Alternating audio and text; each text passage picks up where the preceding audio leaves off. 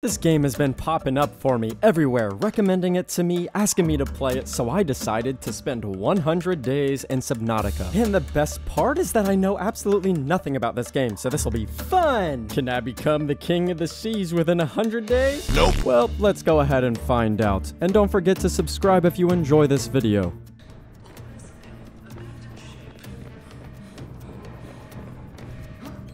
Oh, oh, oh, we're in it. We're in it. Okay, okay.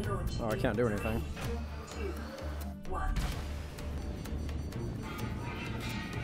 Oh, oh, that's gonna hit me. Oh. Okay, we're awake. Now what? I'm gonna burn to death. Okay, we're out. We're out. Alright.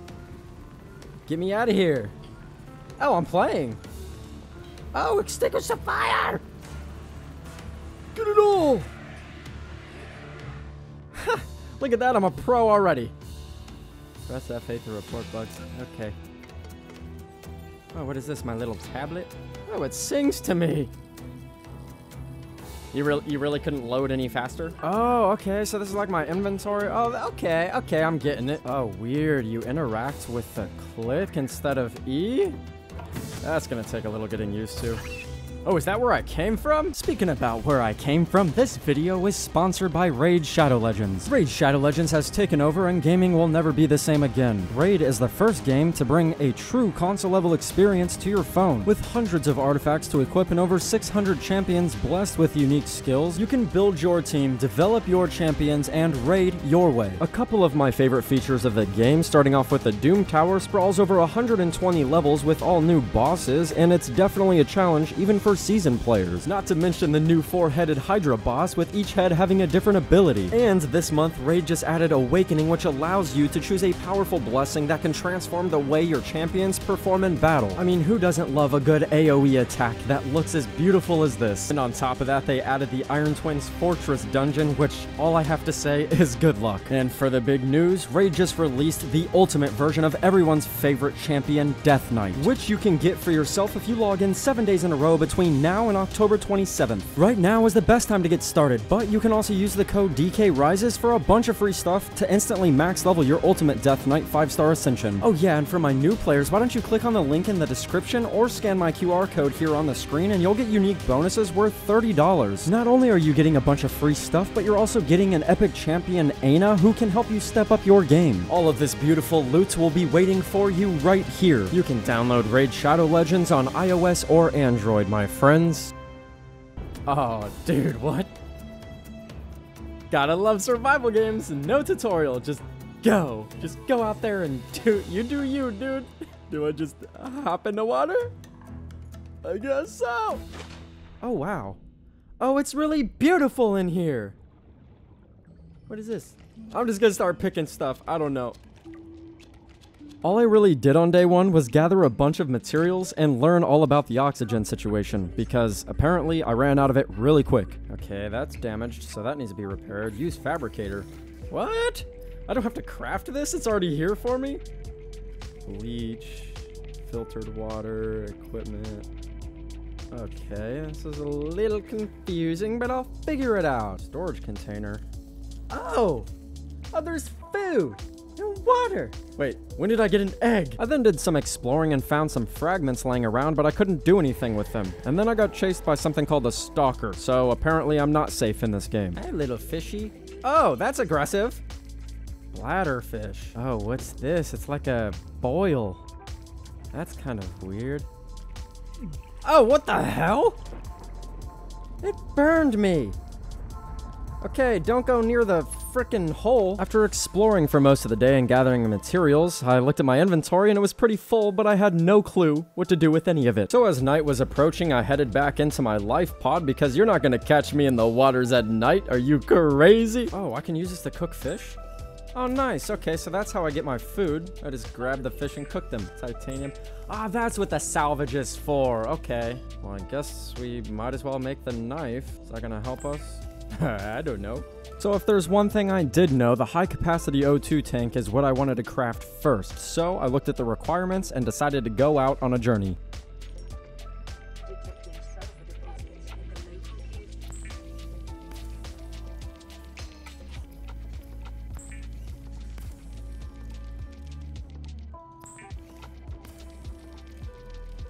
Oh, flashlight makes the cave so much easier. I was struggling finding the materials for the high capacity O2 tank, so I started crafting everything else that I could. This area looks so cool. Oh, silver! That's what I needed. Eh. when I got back to the life pod, I crafted a repair tool because it seemed pretty necessary. Repair this. Play message. I really don't want to listen to all this. I'm gonna be honest. Oh, does what is it? Does this just poop out medkits for me? No. Repair this. That's fancy. All right. Oh! Look at that! Towards the end of day two, I found the last remaining quartz I needed to craft the high-capacity O2 tank. At the start of day 3, I crafted the rebreather, which apparently increases your oxygen efficiency, whatever that means. I then noticed in the tools section there was something called a scanner, which I probably should have built a lot sooner because when you scan stuff, it unlocks important blueprints. Later on in the day, I went out to gather more materials because still, at this point, I had no clue what I was doing, so I was just trying to gather everything I would need. On the morning of day 4, I built the habitat builder, which I'm assuming is how you craft a base. Oh, okay. Wait, do I just... Yeah, I just hold this down and then it crafts it? That's pretty fancy. Midday, I had an epiphany that I could scan these parts I've been seeing, and sure enough, I was right. Wait, what did that do? I have to find three of those and then I can... that is so freaking cool. Okay, well, I guess we're going on a search for all that stuff. What the hell is a Seamoth? Sounds kind of cool. Oh, it looks like a vehicle. Ooh, I want to find the rest of those for sure. I'm actually really scared to go in here. Can I even go in here? I can. What is this? Abandoned PDA. Open data box. I have no clue what I'm doing, but it's kind of cool.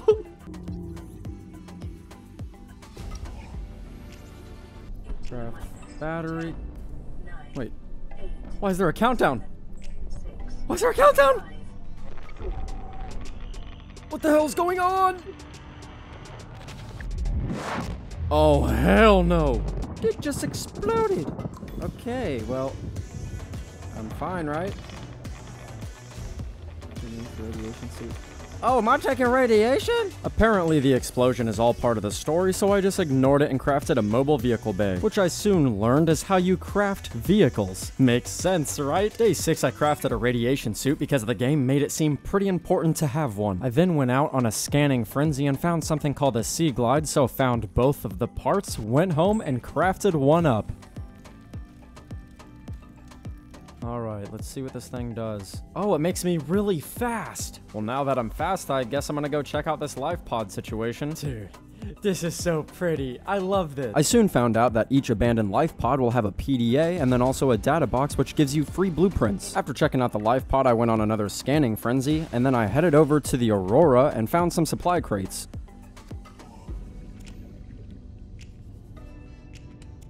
Dude, this place is terrifying.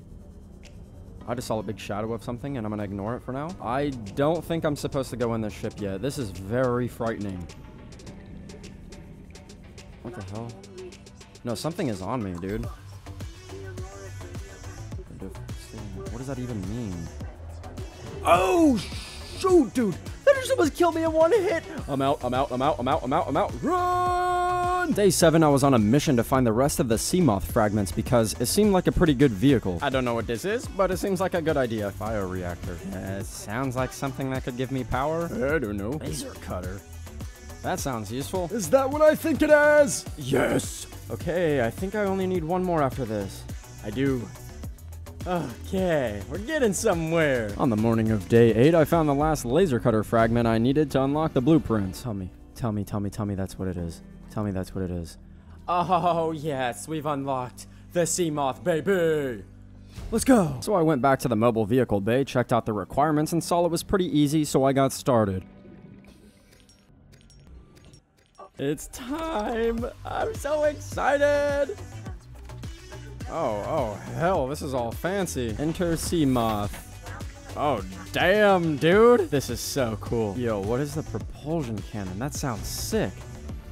Oh, I got it unlocked. Yo, man, I'm really starting to stress out. How the hell do I get out of here? Oh, God, I have no clue where I am.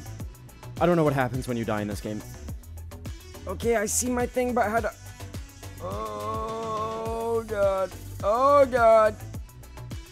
I'm definitely dead. I'm definitely dead. Oh, gosh. Oh, the screen's getting black. Well, I'd... Oh. I just spawned back at the life pod? Do I have all my stuff on me? Yeah, I have all my stuff. Who cares? Who cares? I'll die whenever I want. On day 9, I made it back to my Seamoth and saw some giant tentacles detecting what now? Oh no, it's absolutely not worth it. What the hell am I doing? I didn't know this game was all like that. Oh dude, I need to go. After getting out of there, I saw some weird things spawn in that looked like a little wizard, so I decided to head to the surface because it scared me. And that's when I found a freaking island. Wait, can I go on this island? Oh my gosh, I thought this was just an ocean game. What are you? Okay, you look like a Pokemon. Oh, of course it's nighttime. Why wouldn't it be? Scary cave. I wonder if I'm gonna find good resources since it's like far off. Lithium! Oh, dude, what the ass is that? Oh, hell no, bro. I don't think I'm ready for this at all. Get away from me, sand skirt. What is this? Do you do anything? Can I jump? Nope. Okay, you're useless. What is this? Why do I feel like this is extremely late game stuff? What? Dude, where am I? Yo, this is the second alien tablet I found. Diamond? Oh, if this is anything like Minecraft, I just hit the jackpot. What in the actual F, bro? This is some alien cult crap. What is an ion cube? What? Dude, there's already a cube there. What do you mean? Alright, maybe I should just come back here after I've learned a little bit more about this game. I started off day 11 by crafting a laser cutter and then going out to find the rest of the resources I needed to craft the propulsion cannon. After doing so, I decided it was time that I probably look for a base location and set up. When I came across the boil that burned me, so I started building here because I figured it might be a good spot. But I can't build a base without a multi-purpose room, so I went to this island and started scanning everything in sight.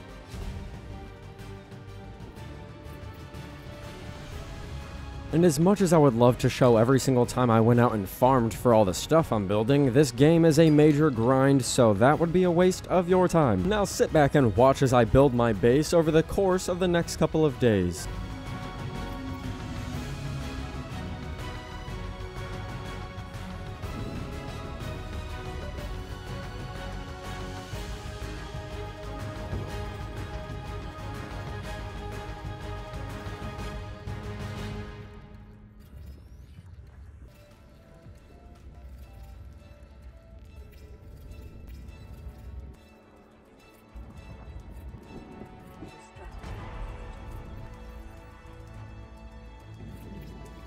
Now that my lantern tree was fully grown, I was able to pick the fruit, put it in the bioreactor, and create power.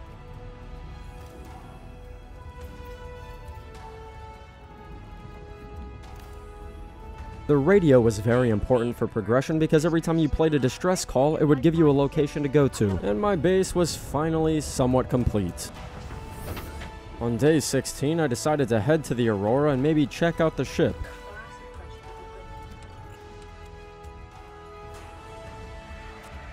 This ship had a bunch of these PDAs, which were important for progression because each time you picked one up and read it, it gave you a hint on what you were supposed to do next. When I got to the cargo bay area, I noticed the door needed a code which was in my notes to self, so I typed it in and kept pressing forward.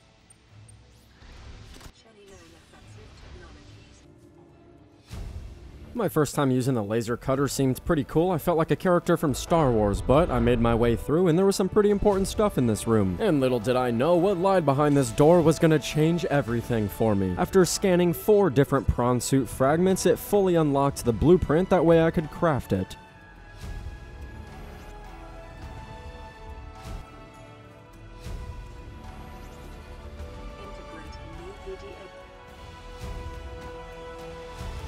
And this right here is where things got a little weird.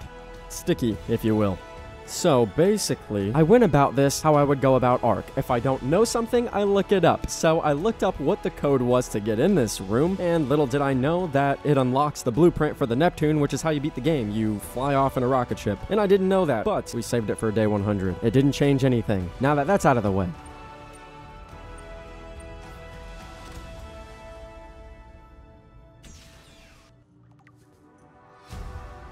And I did the same exact thing for cabin 1. Don't come at me, please. I'm a newbie. I'm sorry.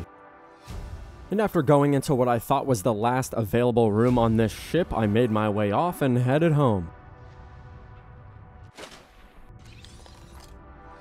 When I got back to my base, I hung all my pretty posters and then played the next radio message. After doing so, I checked how much the prawn suit cost and I got started on that. If you've never played this game, you need a stalker tooth to make enameled glass, which is extremely boring. The last thing I was missing for the prawn suit was ruby and a gel sack, which are kind of rare, so I just headed to this distress call instead. Wait a minute, what is this?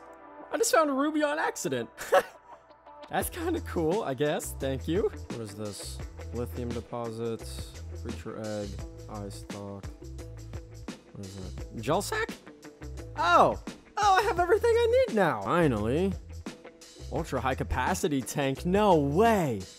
I can have more oxygen than this? Day 23, I crafted the aerogel necessary to craft the prawn suit, and finally, I was able to make it. Let's see what this thing can do.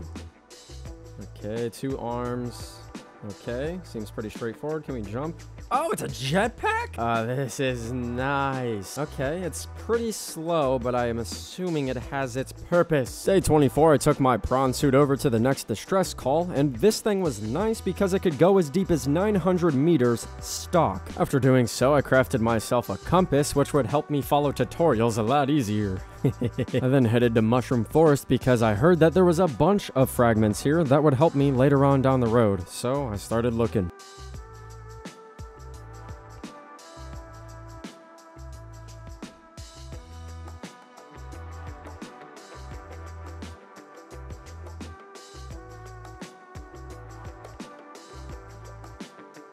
After scanning as much as I could, I found this little trench with blood oil in it, which I'm assuming is pretty rare. And with some more exploring, I found a time capsule, which gave me some goodies. It gave me a lot of stuff. What is it? A thermoblade cooks and sterilizes small organisms for immediate consumption? Whoa, this is so sick looking. It's like a CSGO or a Valorant knife. I'm sorry, Subnautica. I did not mean to do you dirty like that. Uh, please forgive me. I started off day 27 by crafting a modification station, which gave me access to some pretty good upgrades. And of course, it only made sense for me to craft the ultra capacity O2 tank, because it gave me 225 oxygen, which would allow me to explore more. Day 27, I crafted a moon pool, which was basically a docking bay for your vehicles, but I'm not sure there was much more purpose than that. Day 28, I got another radio message, so I decided to head towards the signal, and that's when I found a crash site that I've been looking for for a couple of days now, specifically for the power cell charger fragment that I needed to unlock it and this data box. As I was heading for the signal, unfortunately I forgot my radiation suit, so I started dying from that, and the crush depth on my Seamoth was only 200 meters, so there was no way I was going to be able to do this right now. Day 29, I headed back into the Aurora because there was a module for the Seamoth that I missed. When I got back home, I equipped the depth module, which gave me an additional 100 meters, and when I went out to go explore, I got rocked by this Leviathan. What the hell was that? I'm gone. Remind me to not go this way. After looking for a different route, I found the abandoned PDA and then headed to to the bottom of the ocean to find another. After doing so, I went into the jellyfish cave because it held magnetite, which was a rare resource that I needed to be able to make a better depth module for the Seamoth. So first I needed to be able to craft the level 2, which enabled me to then craft the level 3. And now with that equipped to my Seamoth, it gave me a crush depth of 900 meters, which was going to enable me to explore a lot more. Speaking of exploring, I headed to a crash site which enabled me to unlock the Cyclops, and I found a bunch of prawn suit arm attachments.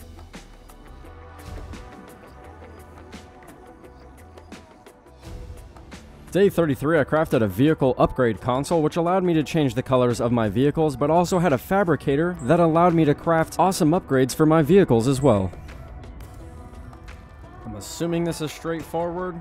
grapple arm pulls me. Okay, that's pretty cool. After some research, I found that the Cyclops was one of the biggest, baddest machines you could have in this game. So, after adjusting the position of my console, I was able to craft one. Damn, dude, that thing is freaking massive. Okay, thank you for telling me where to get on because I've been looking for a while. Oh, this place is sick. Oh, look at all these storage bins. What? Oh, this is like a whole ass submarine, dude. Okay, this is the engine, power cells, fabricator. What's this way? What is this? Open. No vehicle dock. Oh, I can dock vehicles in there? Oh, this is where the captain is. So, how do I turn on the engine? There? Oh, that's so cool. After playing around with the Cyclops, I got it painted, and damn did it look good. Day 35, all I did was go on a PDA and data box run when I found this awesome reinforced dive suit, which gives you 50% damage reduction and heat reduction.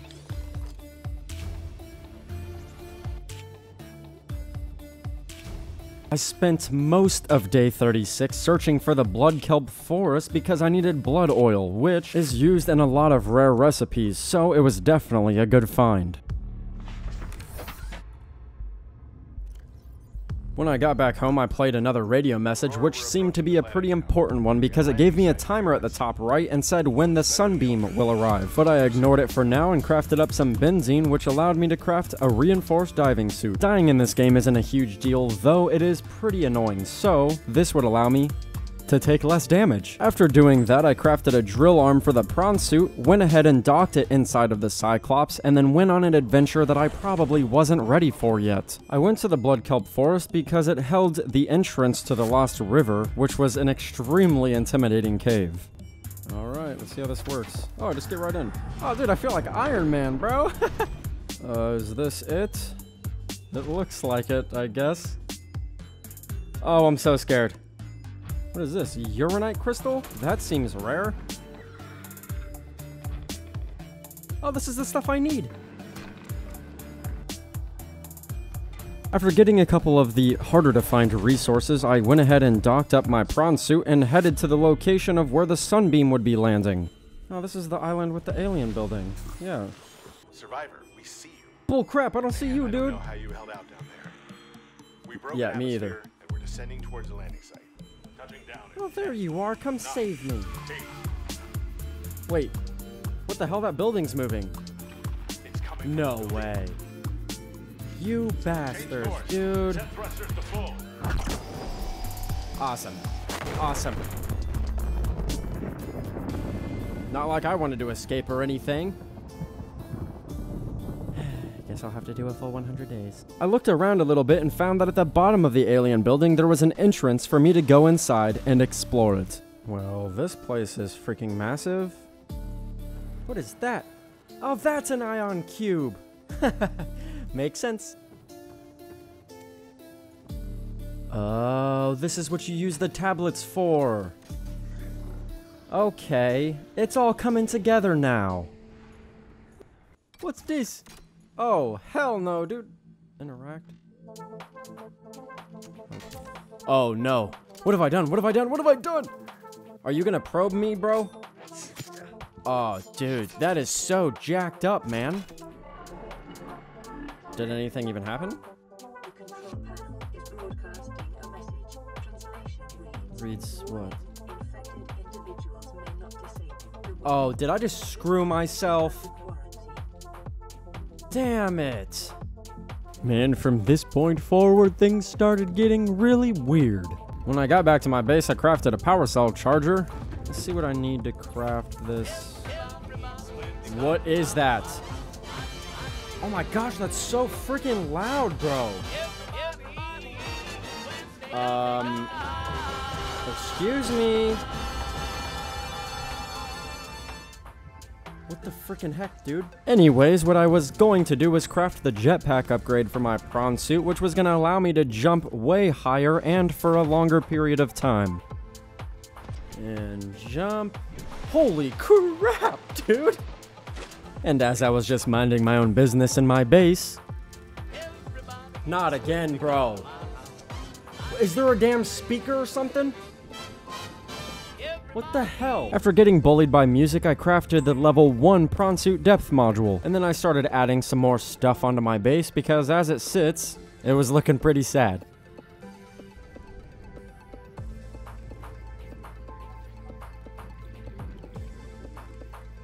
The whole reason for the additions was for a scanner room because apparently it allowed me to find everything a lot easier in the world of Subnautica. Bro, this game literally makes me feel like a superhero. Oh, what is all this? Is this all the stuff I can find? Fragment. All you give me is a dot. That's it. Okay, what's this? Camera drone. Oh! Crafting the HUD chip allowed me to see everything on my screen that I was searching for. So I headed that way, found a PDA, and also discovered the beacon, which was going to be helpful. You remember the boil that was next to my base? Yeah, that was able to provide me power through the thermal plant, which was pretty sick. Shortly after, I found out that growing crops in this game is super overpowered because you put an item into a bed and then farm it, and it gives you three back. So you do the math there. When I got back home, I played another radio message, which led me to the next life pod. So after heading there, I received the PDA, and then I realized that so far in this game, I haven't really read any of these PDAs, and I had no clue what I was doing, so I went ahead and spent the next day reading through every single PDA to see what I needed to do. Uh, whoa, what's happening to my screen? What the hell is that? Yo, yo, yo, yo! Bro, what are you? What the heck? After that weird little cutscene, I was told to do a self-scan, which in fact told me that I had a bacterial infection that was progressing. And as you saw earlier in the game, it said that anybody with an infection cannot leave the planet, so I'm kinda screwed until I figure that out. But after finding out this information, I continued reading every PDA because this was obviously gonna hold the information that I needed.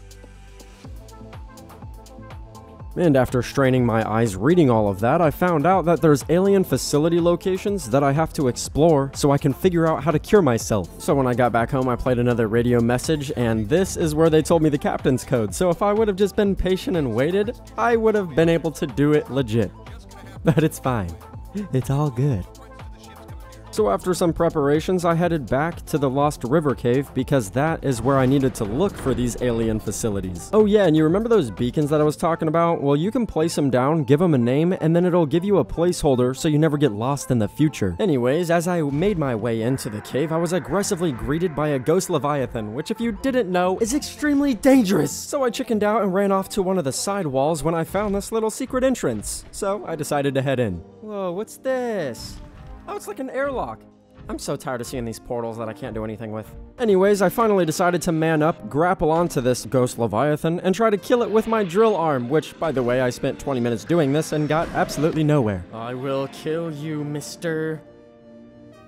Okay, this hurts. I'm out, I'm out. After escaping the wrath of the Leviathan, I followed a very linear path and found the very first alien location. It looked like all of the other alien buildings I've been into, but hopefully it held the secrets I needed to progress. So you know the drill by now, put a purple tablet in this little thing, it opens a fancy door, I make my way through, and I also found a couple of data terminals in this one, which was nice.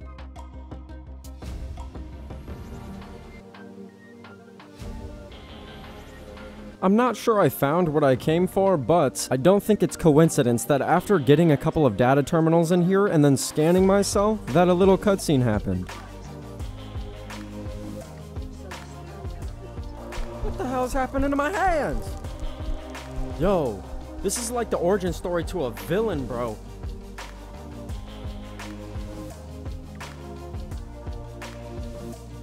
After finishing up at that location, I made my way a little deeper into the cave when I found a very, very scary area that I'm not sure I was ready to explore yet. What the hell was that? That's what those things do? Oh my god, where's my prawn suit, brother? I don't want to die. I don't want to die. Oh, there it is. Okay. Dude, that was... That is so toxic. So not only was I getting bullied by warpers, but if you look at how deep this place was and the crush depth on my suit, not good. Something that was good though is I found kyanite, which is a very rare resource. What the hell is that, bro?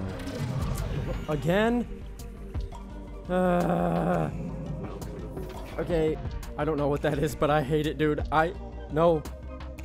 That thing looks like it could swallow me whole. Okay, I'm gonna leave. I most definitely was not ready for this area, so I decided to head home. That way I could make the level 2 prawn suit depth module. That way I could go even deeper. So I loaded up into the Cyclops and made the slow trip home. And speaking of home, when I got back, I played another radio message, which gave me this. And I'm not the smartest person in the world, but I know that's not correct. And after some boring grinding, I was able to make the depth module for the Cyclops, and I was able to make it for the prawn suit. So now both had a crush depth of 1700 meters, and I was going to be able to explore anything I wanted.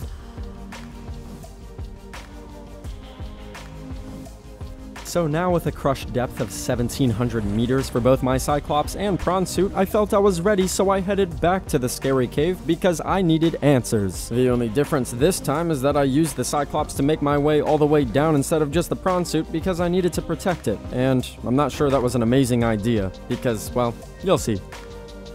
I'm gonna be honest, I came here with a plan, but I have no idea what I'm looking for. Okay, you stay away. After going a little deeper, I found the crazy scary entrance, and that's when another cutscene happened, which means I'm probably in the right place. You again!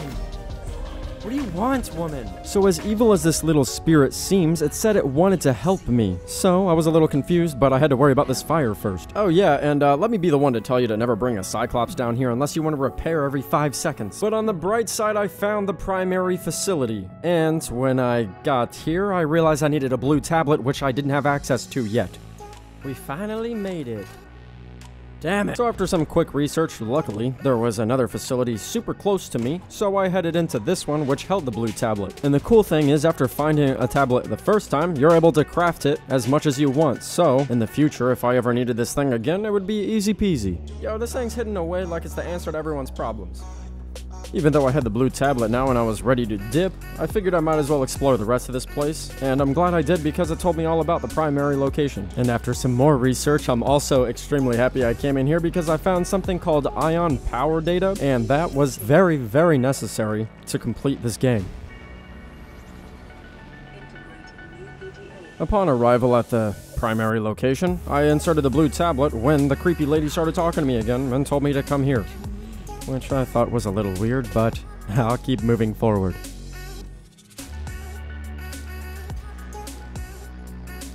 I knew this place was the real deal because when I came in, a bunch of lights on the main path lit up and it kinda scared the crap out of me.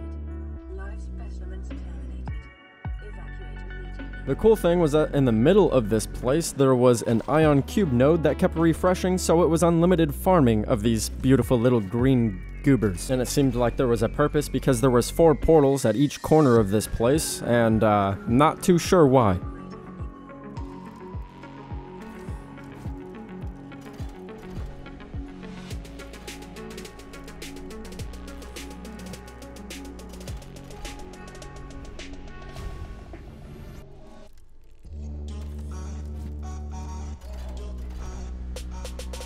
After getting all the portals online, I crafted a fabricator inside of my Cyclops. That way I could make a blue tablet because the main room of this facility needed a blue tablet.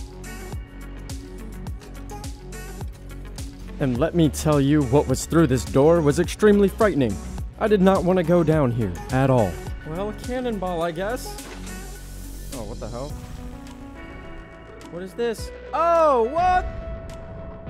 Who are you? Oh, that's the lady from my dreams.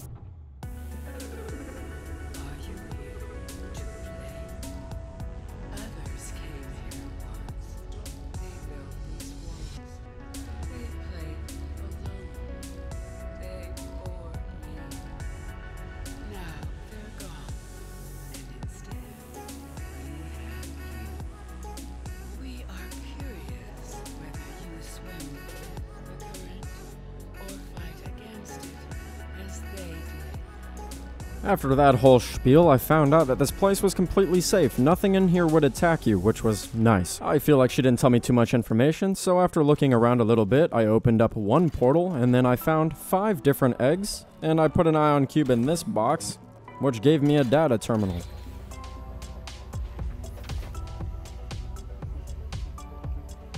My young need to hatch, to play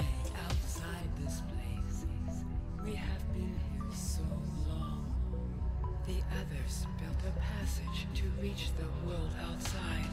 I asked them for this freedom, but they could not hear me. If you help us, I will give you freely what the others tried in vain to take. What are you doing? Why are you getting so close? Oh. Oh, dude, that's sick. This game is so cool. Well, thank you, woman. After she cleared the sand for me, I opened up the portal, and that's when I got another cutscene. With the passage you've opened, my young can leave this place. But first they must feel the time is right and break free of their shells. Wait, are you the good guy or the bad guy? Am I helping you be bad? The could not force me. To you, There's no way you're bad. Hatching enzymes? Oh, that's how I hatched the eggs, obviously. So I sat in here for a while and did some research and found out that the four portals in the main facility actually led to the four ingredients you need to make the hatching enzymes. So obviously, that's what I did.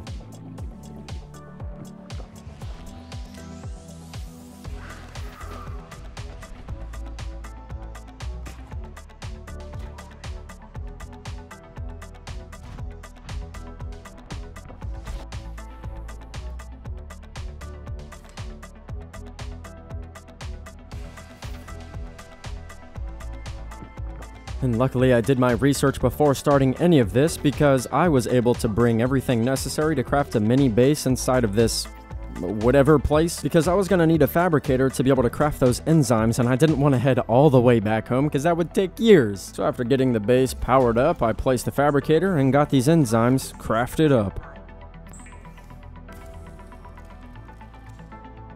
Alright, lady, I got your freaking enzymes. You better not be an asshole.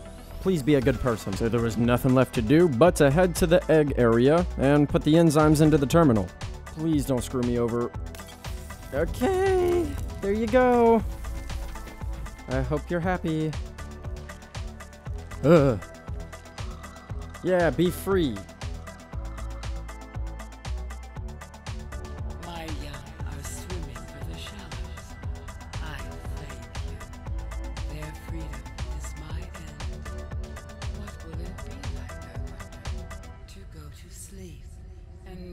Oh no. Oh no, this is actually like really sad. So she's dying, and that's why she needed her young to hatch so they could be free and carry on her legacy. I'm gonna cry, you mother fluffer. Friend? I was your friend? Ah! I'm so sad. I'm sorry I doubted you. You poor lady.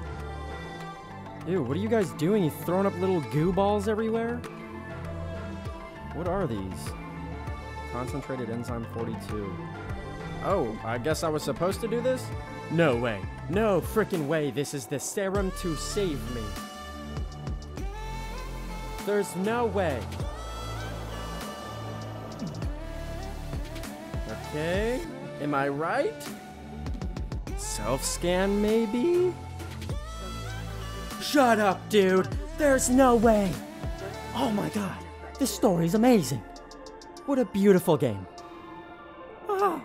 But as you know, I was healed now, so I had one thing left to do, and that was to leave this place. So I got started on building the Neptune. But as you can see, I did it the lazy butthole way and broke down a lot of my stuff in my base. That way I didn't have to farm for it.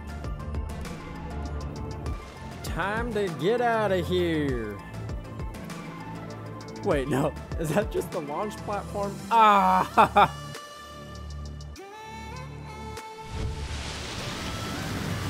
I was soon smacked in the face by reality because when I got onto the platform, I realized that each individual part of this rocket ship had to be built, so it wasn't gonna be that easy for me to get out of here.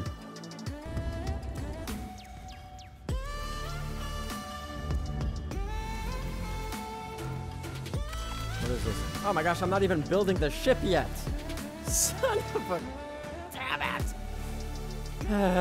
Luckily for me, without even knowing about the Neptune, I farmed a buttload of the rare resources in the scary cave, which was gonna help a lot here. Funny enough, the thing that was taking me the most time was all of the easy to get resources, because, well, I didn't have too much of it. I cut this whole process down into the pretty version for you guys, but this took me a really long time because each part of the Neptune was an insane amount of titanium. But not only that, I had no copper, gold, or any of the other things I needed to make wiring kits, so I had to go out and find all of that all over again. And looking at the requirements for the next part of this ship, made me realize how lucky I was to go into that blue tablet place because I was able to find the ion power cell data. If I didn't do that originally, I would have had to take another 5 to 6 day trip, which would have made this 105 days.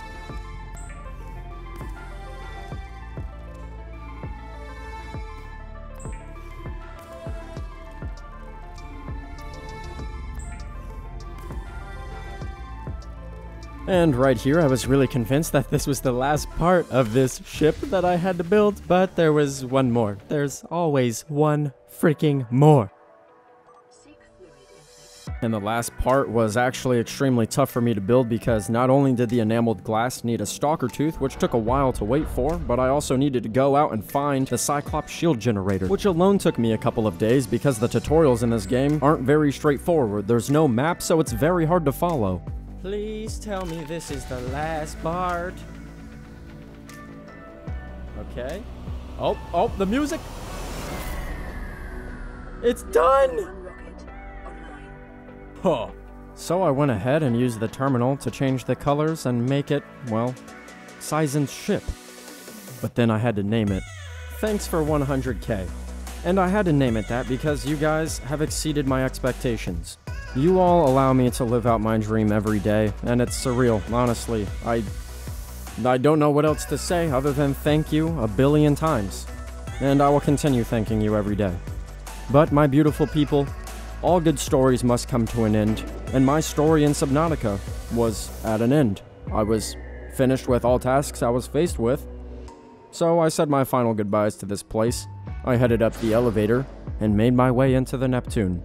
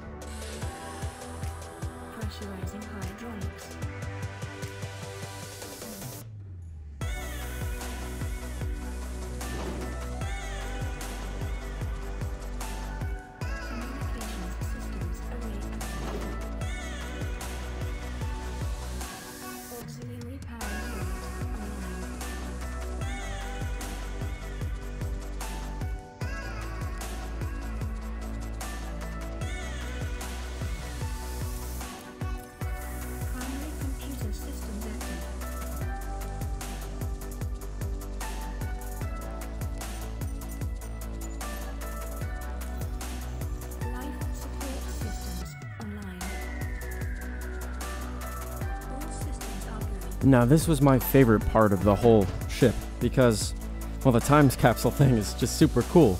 And I remember finding one earlier in the game, so I put a couple of items in here that I would want to find if I was to play this game again. But I was the captain now. Everything was powered up and ready to go, and it was just up to me now to launch this ship.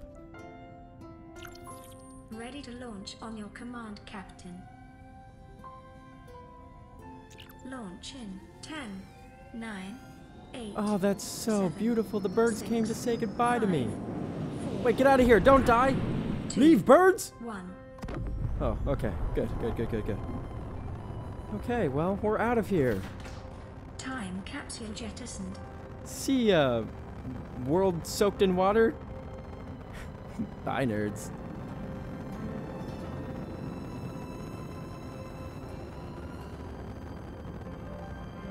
What a fun game. I honestly had a great time. Approaching orbital Wait, what? debris field. Is this part of it? Hello? Not again. Not again. Oh, okay. It didn't hit us in the face this time. Orbital debris field clear. Okay, good.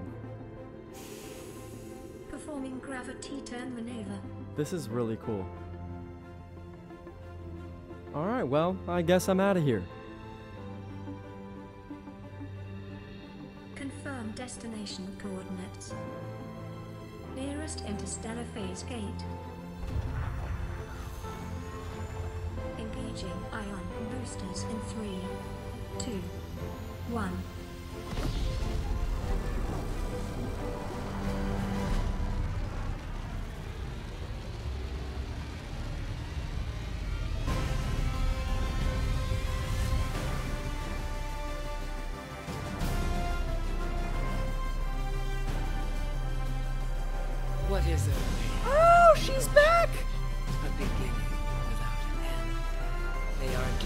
Oh, this is such a beautiful game.